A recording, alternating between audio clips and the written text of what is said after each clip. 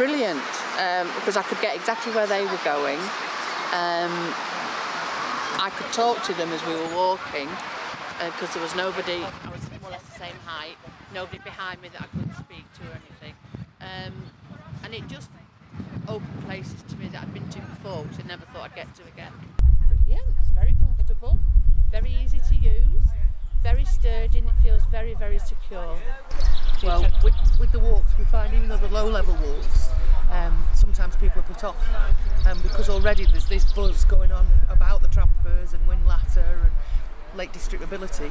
Um, it's known about already amongst the clubs and people are thinking and talking about it and realising not just older people but some people with long-term health conditions that are actually younger people have started to come in and ask about it.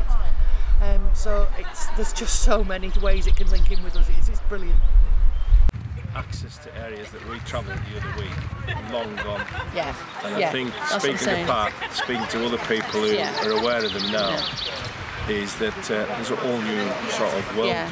I, I, ne I never knew I'd, I'd, get up there again. Never thought I'd get up there again. So it's been great.